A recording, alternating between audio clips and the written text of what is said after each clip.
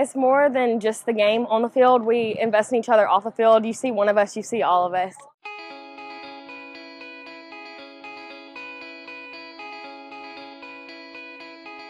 It's always the players, you know, what you can teach them, not only about the game, but more so about life skills um, that sometimes they don't understand that what's coming to them until it's, it's later on, and then they, they're thankful for what they learn through what coaches can teach them on the field.